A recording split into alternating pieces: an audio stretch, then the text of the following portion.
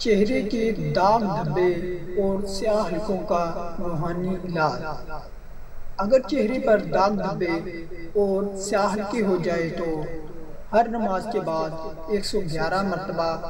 या अल्लाह या मुसविर या मालिकू, पढ़कर हाथों पर दम करके चेहरे पर फेर लें। दाग धब्बे और स्याह के ख़त्म हो जाएँगे और चेहरा खूबसूरत हो जाएगा।